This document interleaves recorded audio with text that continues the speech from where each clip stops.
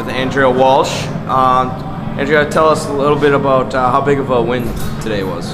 Uh, today was a big one. We knew we needed to come out and just get ahead of them from the start. We knew we could do that. They got a, quite a few offensive rebounds on us in the first half, 14, which which kept them very much in the game. And we knew we needed to come out in the second half and just get offensive boards, uh, get defensive boards, stop them from hitting the boards, and that's what we did. So it was a huge win for us. We needed. Um, big weekend for you. 21 points yesterday, 19 points tonight.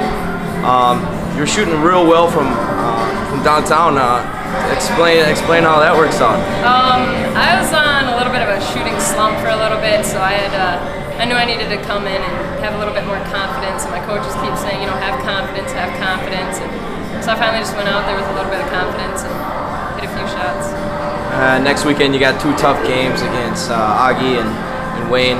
Um, what, do, what, do you, what kind of games are you expecting? Uh, they're going to be super tough games. No one's beaten those two teams on their home floors, so we know we need to come out as aggressive as we can be. Just try and play our game while taking their game away. All right. Thank you for your time and enjoy the rest of your weekend. Thanks.